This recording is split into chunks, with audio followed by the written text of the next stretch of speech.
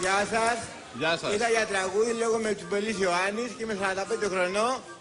Ήθελα να πω το τραγούδι του Πανταζή. Από τον κόκοτα έχετε εμπνευστεί; Ναι, μ' αρέσει. Μα συγγνώμη, αυτό δεν μοιάζει με τον κόκοτα. Αυτό μοιάζει με φραγκόκοτα.